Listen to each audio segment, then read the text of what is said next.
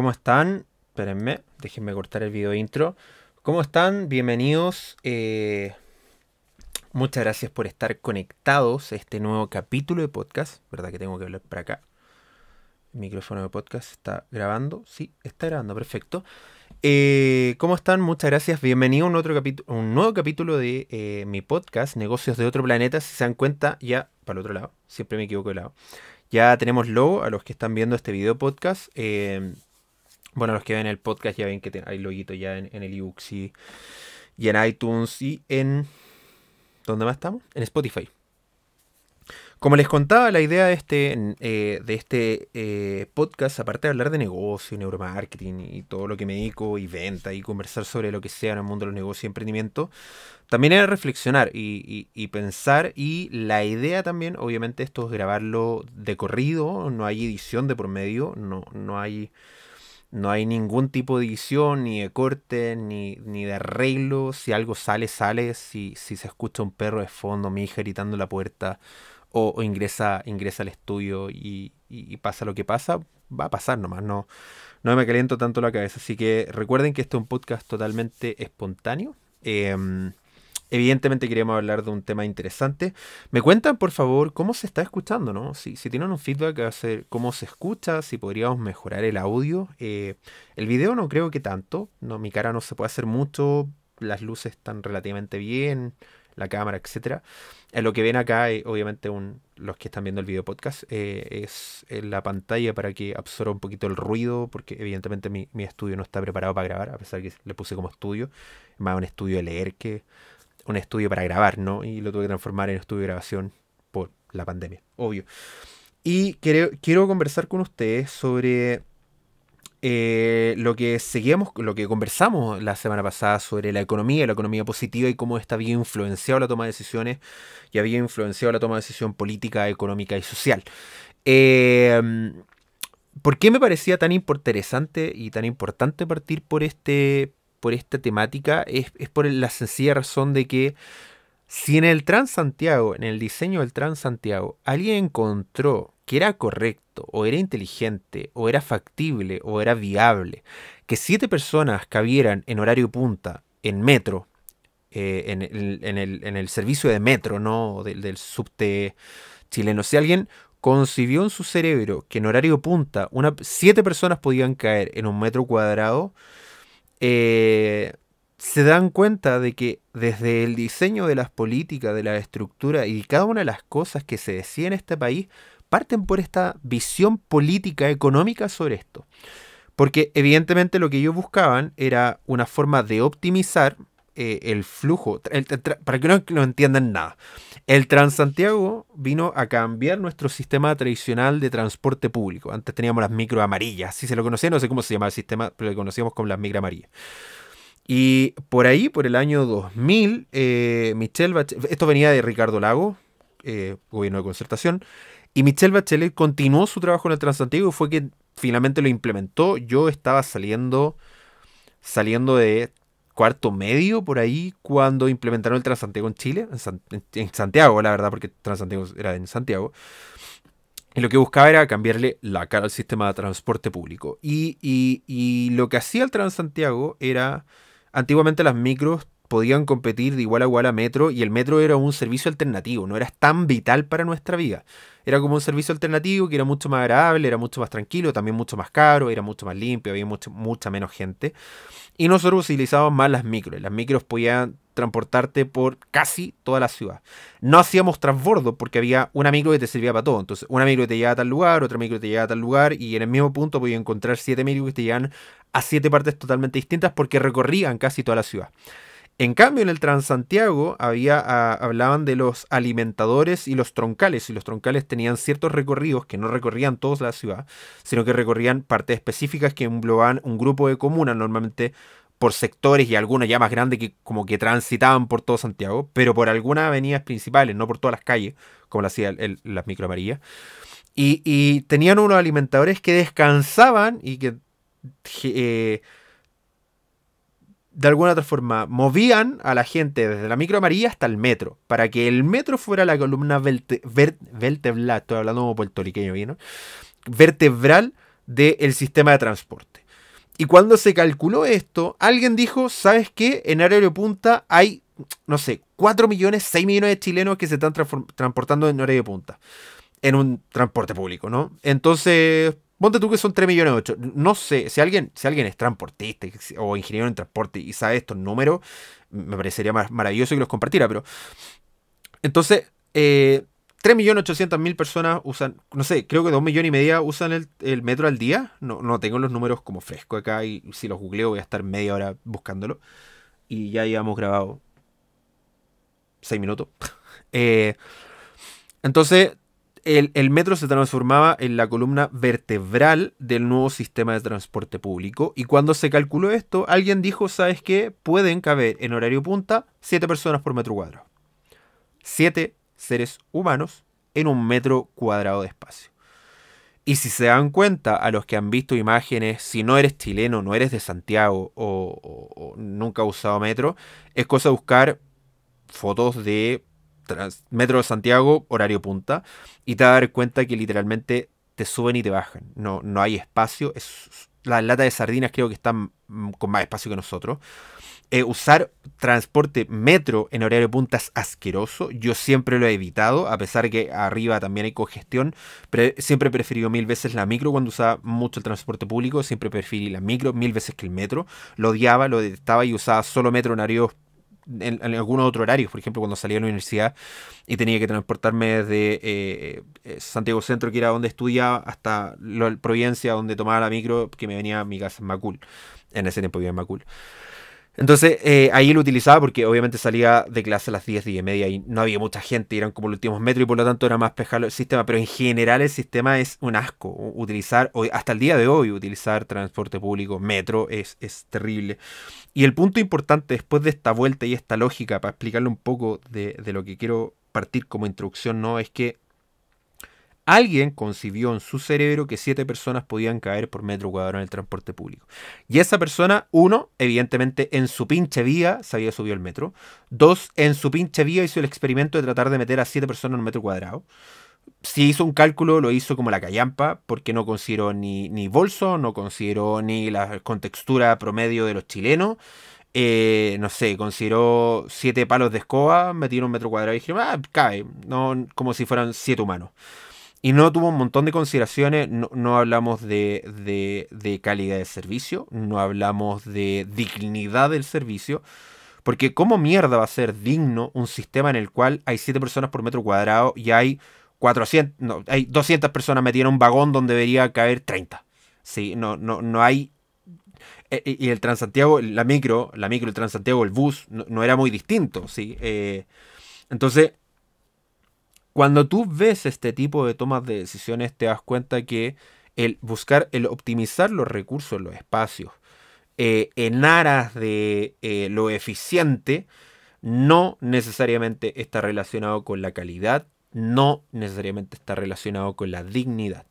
Y yo no voy a hablar de los derechos sociales ni nada por el estilo, pero no me pueden decir que un sistema, un sistema es digno cuando está pensando que pueden meter, como si fueran cerdos, no, cerdos arriba de un, camión, a siete personas en un metro cuadrado. Eh, es, es impensado, es estúpido, es ilógico, es inhumano.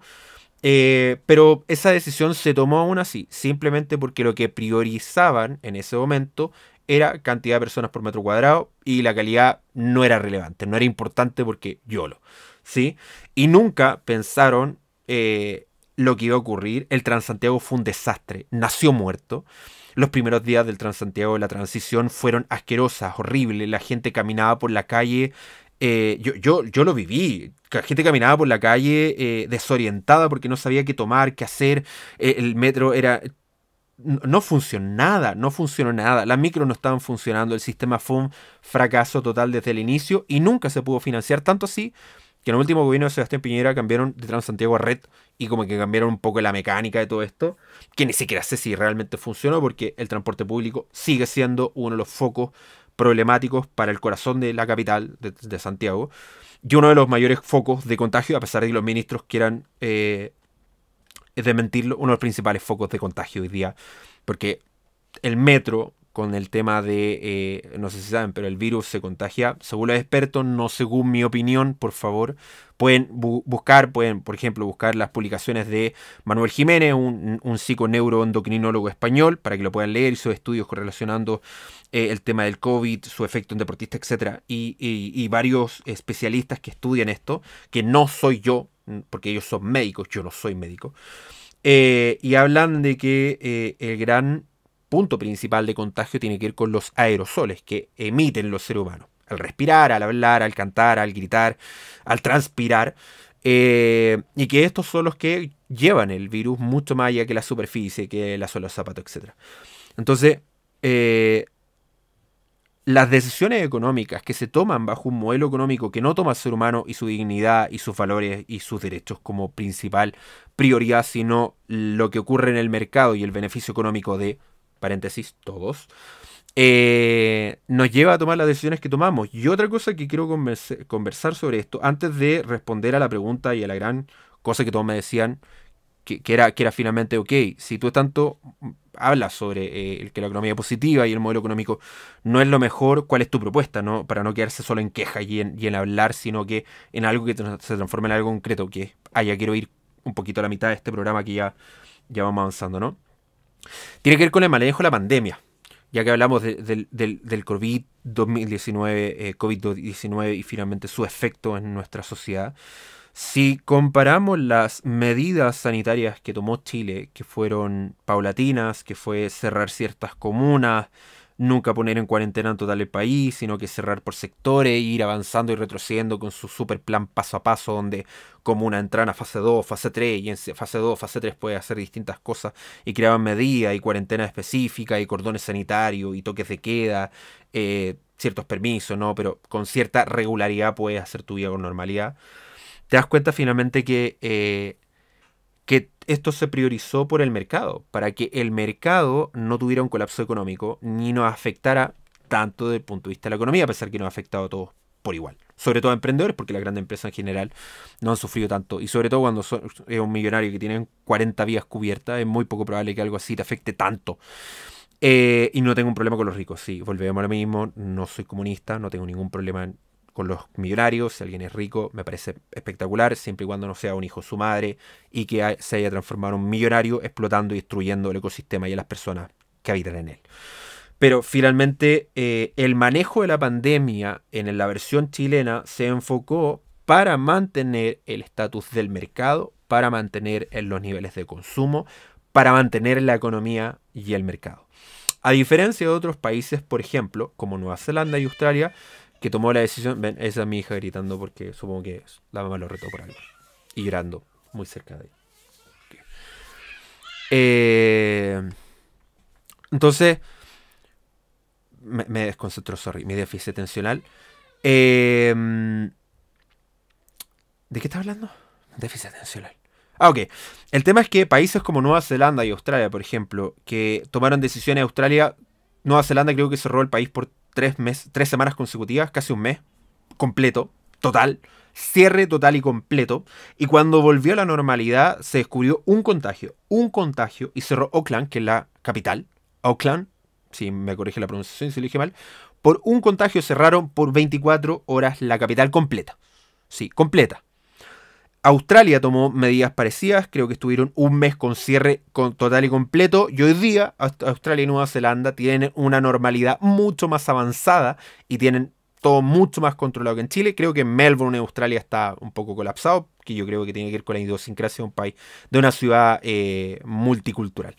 Y por otro lado, Alemania, Alemania, eh, de hecho Angela Merkel creo que me saco el sombrero con el liderazgo que ha tenido en Europa y en Alemania con el manejo de la pandemia, con sus discursos que, podemos buscarlo y, comentarlos, ¿no?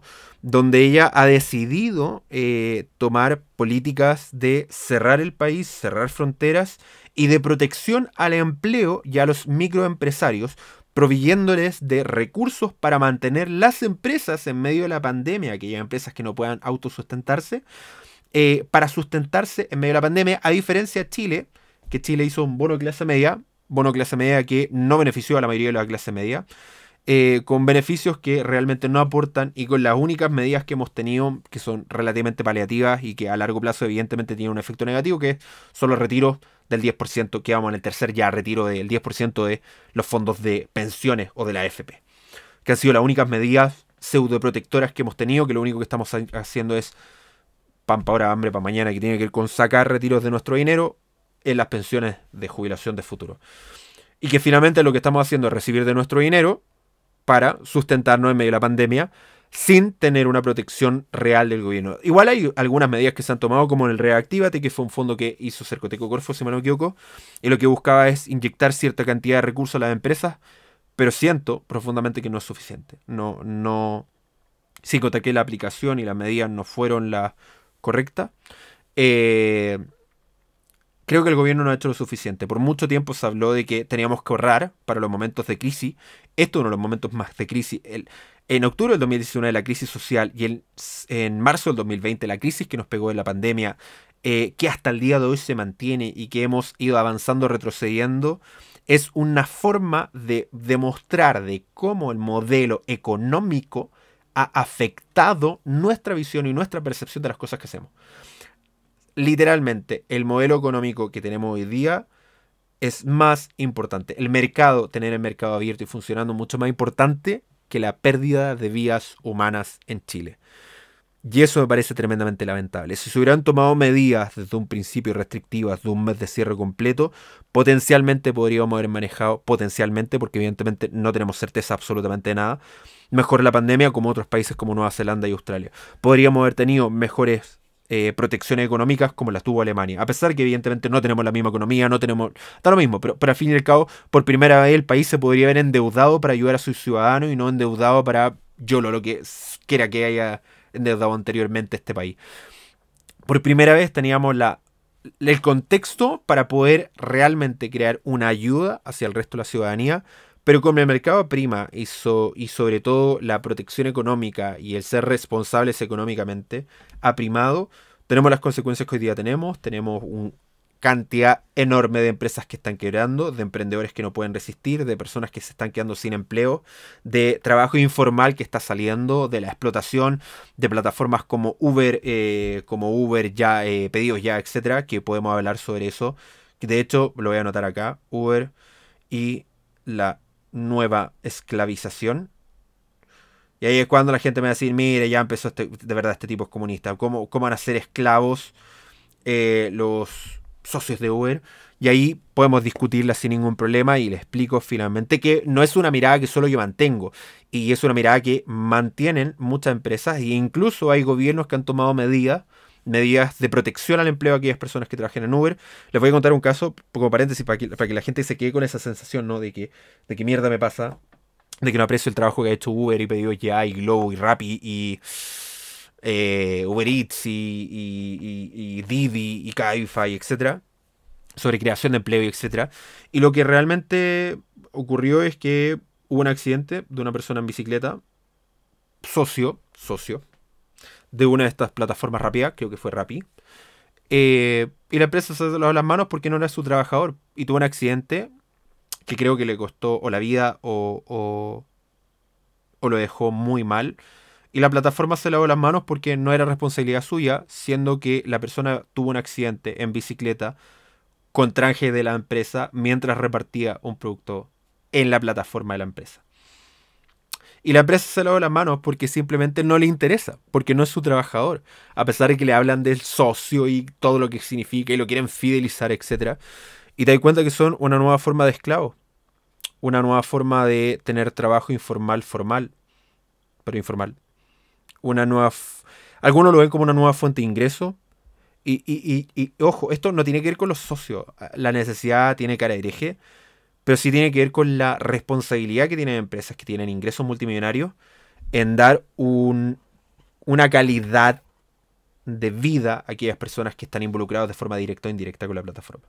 Sí, pero insisto, eso lo podemos debatir en, otro, en otro podcast. Ahora, ¿por qué es tan importante esto para mí? Eh, porque la idea de esto, ¿no? Es, ok, ¿Cómo tener entonces un nuevo modelo? Si, yo critico tanto la economía positiva y su mirada, ¿cómo tener un una nueva mirada y una nueva forma de hacer economía que esté centrado en el ser humano? Y en eso me quiero detener en estos últimos 10 minutos que espero que no se alarguen tanto.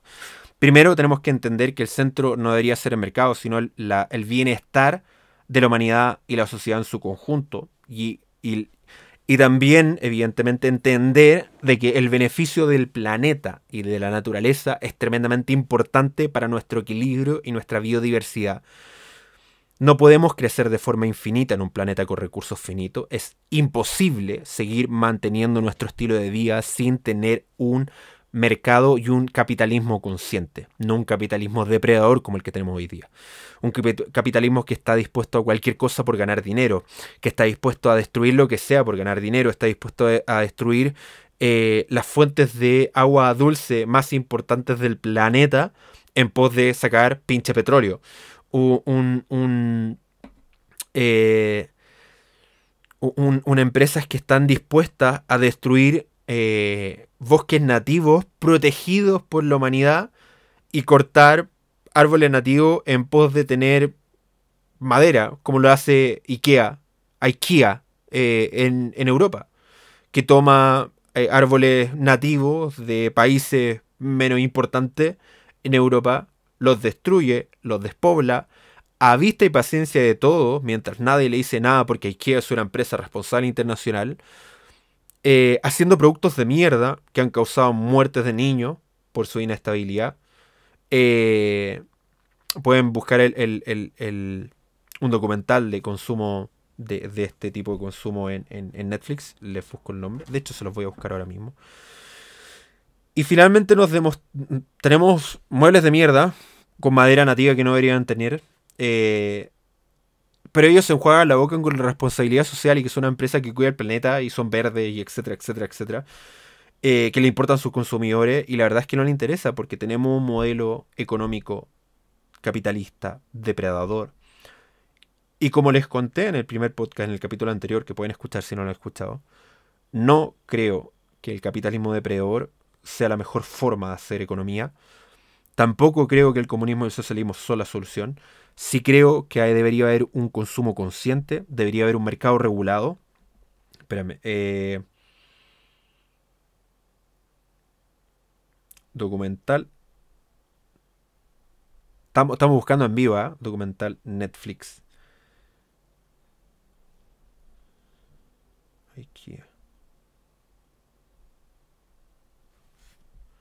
A ver si lo voy a encontrar. Sociedad de consumo. Sociedad de consumo se eh, llama eh, este, este documental que está en Netflix, se lo pueden buscar y lo pueden ver. Buscan el capítulo IKEA y, todo lo que engloba IKEA a nivel mundial. Y como una empresa que se vende como limpia, responsable, inteligente de un país evolucionado como es Suecia o Suiza, Suecia, Suiza, donde IKEA. Eh, de un país que es tremendamente evolucionado, mucho más perfecto. IKEA, país de origen.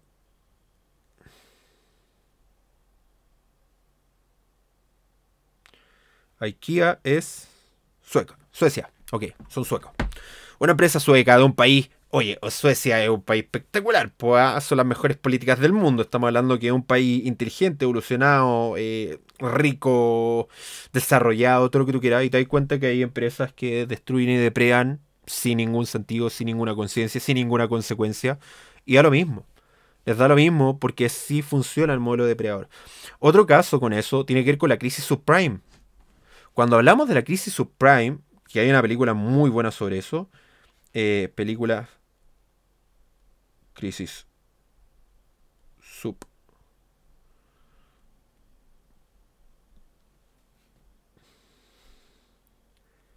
¿Cómo se llama esta película de la crisis subprime? Ahí está.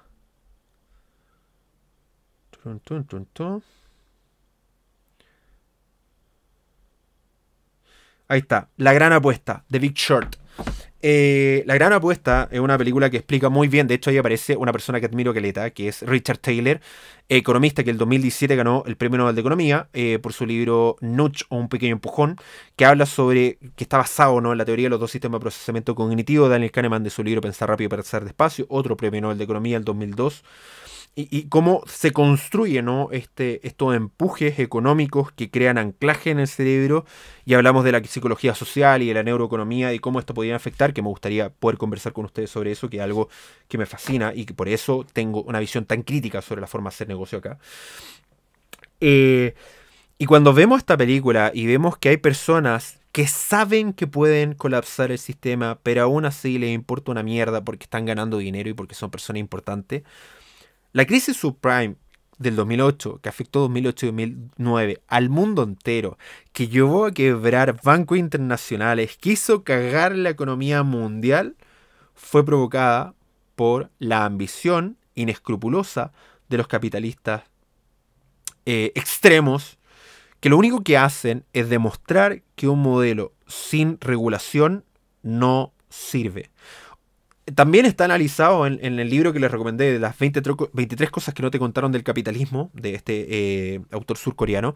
También está eh, plasmada y analizan un poco la crisis subprime y cómo esto afectó. Y de finalmente cómo podemos tomar medidas. O sea, el regular la innovación de forma completa. La, innovación no puede ser infinita. No, no podemos no podemos estar constantemente innovando sin pensar en las consecuencias de la innovación. Y hablamos de los biohacks, por ejemplo, de cómo, por ejemplo, Elon Musk quiere ponernos un chip en nuestro cerebro para conectarnos a Internet. Las consecuencias bioéticas de eso, las consecuencias de nuestro cerebro, aquellos que estudiamos la mente, el subconsciente, eh, lo que pueden haber de manipulación mental, o sea, la cantidad y manipulación mental real, ¿sí? Eh, hay estudios reales. Esto no tiene que ver con teorías conspirativas. Hay estudios reales de que se pueden ingresar memorias falsas en las personas. Y si tenemos un aparato que está conectado con nuestro cerebro, que aún ni siquiera terminamos de entender cómo funcionan, sé que igual esto de Neurolink tiene harto de fake, ¿no? Y, que es más como una propuesta futuro con más... Eh, con más bombo y platillo que, que, ciencia real, pero aún así las consecuencias de la tecnología y de cómo podría afectarnos es tremenda y brutal.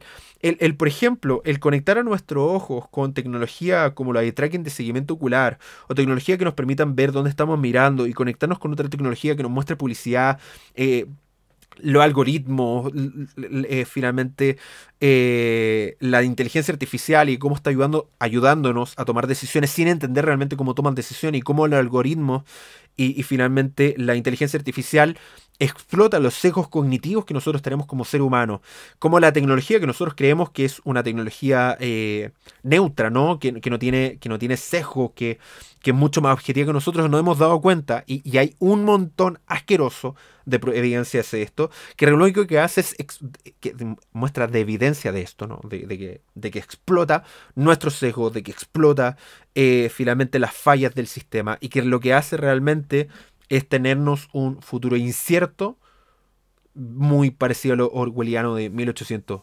1894, con un Big Brother que ya existe. El Big Brother está ahí, está en las Big Five, en Facebook, en Amazon, en Google, eh, en Apple y Microsoft. Y yo agregaría la sexta que es eh, Alibaba, ¿no? Con este chino que tiene un imperio. Eh, y nos damos cuenta entonces de que si no tomamos medidas para, uno, regular el mercado, dos, regular la innovación y sus implicancias éticas, sociales y su impacto, tres, si no pensamos en las consecuencias de nuestro consumo y de nuestra producción alocada sin conciencia de lo que estamos haciendo. Cuatro, el uso de materiales que afectan a eh, nuestra, economía, como el plástico, eh, y como hoy día hay islas de plásticos islas enteras de puro plástico, de cómo está afectando la vida en el planeta, de cómo está afectando la contaminación y quinto, eh, eh, el calentamiento global. La producción sin medida y sin conciencia ha provocado que nuestra economía y que nuestro planeta entre en jaque. Y tenemos la responsabilidad como sociedad de cambiar esto, y sobre todo de emprendedores. Y hablo de negocios de otro planeta, porque los emprendedores también somos responsables y parte de esto. Tenemos que entender que la forma en que nosotros hacemos negocios debe cambiar. La forma en que nosotros creamos empresas debe cambiar. La forma en que producimos debe cambiar. La forma en que nosotros aceptamos el establishment o lo normal o lo establecido debe cambiar. Cuando alguien dice que la construcción es normal que cinco personas mueran por obra, no puede ser aceptado como normal que alguien muera. Debemos hacer todos los esfuerzos económicos habidos y por haber para poder dar una respuesta y evitar con el mayor de nuestros eh, anhelos o esfuerzos que más personas mueran. Porque esto no es un chiste, porque estamos hablando de vidas, vidas que tienen familias, que tienen sueños, que tienen visiones, y no podemos seguir viendo a los humanos como números de producción, como módulos de producción en masa. ni siquiera los robots son vistos tan eh, como eh, artículos de recambio como nosotros. Cuando se habla de que en economía es mucho más fácil eh, echar gente que hacer cambios y ser más eficiente, te das cuenta que el ser humano es la última choma del mate, se le dice en Chile o y en Argentina, ¿no? Son, son finalmente, son lo último, son, son cosas reciclables, da lo mismo las personas, da lo mismo su efecto y me entristece en que los emprendedores hemos mantenido y perpetuado este tipo de cosas. Cuando hablan de los grandes y cerdos eh, empresarios, eh, porque se coluden entre ellos, como lo que ocurrió en el papel confort, y te das cuenta que los tipos de las ferias se coluden para poner precio. Cuando te das cuenta que nos enjuagamos la boca con los grandes empresarios porque toman decisiones de subir los precios de, de productos de primera necesidad cuando hay una crisis económica y te das cuenta que los tipos de La Vega, a la primera oportunidad de subir los precios, lo que ocurrió con, este tipo de La Vega, el, guatón de La Vega, que no sé cómo se llama, eh, y ves que un tipo dice, no, es que no nos han venido a comprar, y como no nos han venido a comprar, tenemos que subir los precios. O sea, eh, creo que a ese tipo le falta una clase de economía. Ahí, es cuando si digo que, mira, necesito por lo menos una clase de economía positiva, por, por, lo menos, por último, va a tener una base. Eh, cuando hay menor demanda, los precios deberían bajar y este tipo los quiere aumentar para mantener los niveles de ingreso. Y te das cuenta que un tipo que dice ser de izquierda, que estar con el pueblo, que es un obrero, ¿no? Y todo ese discurso de izquierda zurdo, eh, y el tipo es más capitalista que cualquiera de los que, los que están ahí tomando decisiones. Esto es decir, no, sé, es que tenemos que mantener nuestro ingreso, por lo tanto vamos a subir los precios y te das cuenta que estamos en un momento de crisis y de necesidad y ellos en vez de ayudarnos nos suben los precios. Nos damos cuenta que los pequeños productores, los emprendedores, replican el modelo, replican sin asco esto, sin valores, sin conciencia. Y ahí es cuando hay un espacio para las marcas conscientes, para las empresas conscientes, para aquellas empresas que saben que tienen un impacto en la sociedad, en su consumo. Y me gustaría, eh, porque ya, ya estamos en el tiempo ya, hablar en los siguientes podcasts sobre mi libro, se llama Emprender por Amor, y discutir y conversar eh, sobre cómo yo creo que podemos plantear nuevos negocios que, que finalmente ayuden, ayuden a tener una mejor sociedad, una mejor humanidad, una mejor economía y que podamos transformar nuestra sociedad y nuestro país, porque yo sí creo que el emprendimiento es un motor de cambio de la sociedad. Y sobre todo cuando es bien llevado. Cuando hay proyectos en el sur de jóvenes que presentaron y con ese proyecto jóvenes de colegios vulnerables pueden emplear a sus padres que tienen trabajos vulnerables, te das cuenta que hay una forma de cómo hacer un nuevo, un nuevo mercado, nuevas formas de cómo hacer negocios y que esas formas son potencialmente rentables a futuro, son factibles y se puede hacer. La diferencia es que tenemos que acercarnos del discurso, de la ideología, tenemos que votar de ideologías de izquierda y derecha, tenemos que comenzar a ser moderados y entender que hay cosas que funcionan y cosas que no funcionan y comenzar a tomar decisiones que son racionales, pero sin dejar de lado la emoción de entender de que somos seres humanos y que no vemos un número, que no vemos una pelota de carne, sino que vemos una persona que tiene, eh, que tiene valores que tiene sueños, que tiene derechos, que tiene virtudes, que tiene también deberes, y por lo tanto dejemos de ver a la sociedad como una máquina de generar dinero, sino que lo veamos como lo que es, que es una red de personas y sentimientos conectados. Tenemos que entender que la sociedad en su conjunto no es una máquina de consumo, sino que son personas que pueden consumir, personas que pueden producir, personas que pueden negociar e interactuar, pero que es algo mucho más allá que un mercado, que una sociedad, que un pueblo, ¿no? Como concepto. Eh, y tenemos que otorgar o volver a otorgar la virtud que el ser humano necesita para entender que no somos un pescado, que no somos un cerdo, sino que somos un ser humano con un pensamiento distinto que nos diferencia de la otra, empresa, de la otra especie y que por lo tanto tenemos que dotarnos de la virtud que tenemos para no caer en las explotaciones que han ocurrido. Cuando yo escucho que Frafra es Rasuri, Frafra que lo, quiero decir bien,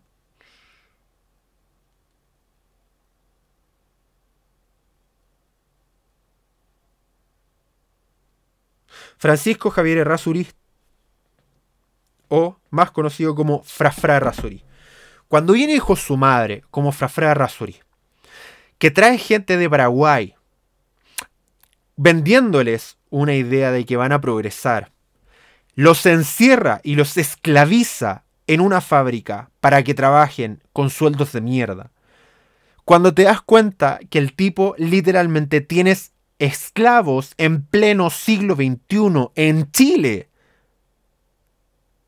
Y que la justicia lo único que hace es ponerle una multa, te das cuenta de los excesos de nuestra mierda de modelo.